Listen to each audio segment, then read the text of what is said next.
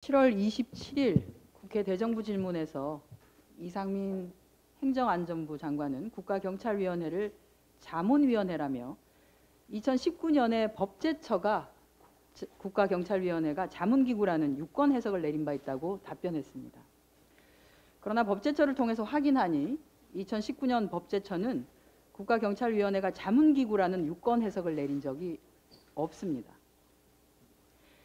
2019년 자치분권위원회에서 법제처에 국가경찰위원회가 합의제 행정기관인지 아닌지에 대해서 비공식적으로 문의하였고 법제처는 합의제 행정기관에 해당하지 않는다는 검토 의견을 전달한 것 뿐입니다. 당시 법제처의 경찰위원회 관련 검토 내용 총 4쪽 중에서 자문의 자자도 언급되어 있지 않습니다. 이상민 장관은 판사 출신이신데요.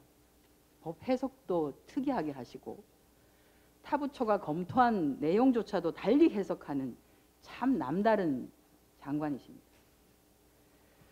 이렇듯이 윤석열 정권과 이상민 행안부 장관이 행안부 경찰국 신설을 강행하기 위해서 2019년 당시 법제처의 검토 의견을 유권 해석이라고 하면서 국가경찰위원회의 심의 의결한 내용은 기속력이 없다며 경찰법상 명시되어 있는 국가경찰위원회의 역할과 그리고 그 지위를 애써 무시하고 폄하하였습니다.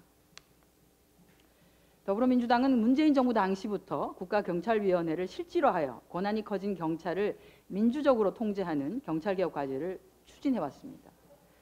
그 일환으로 국가경찰위원회를 국무총리 소속의 중앙행정기관으로 격상시켜서 경찰청을 관리 감독하도록 하기 위한 관련 법 개정안이 국회에서 지속적으로 논의 중에 있기도 합니다.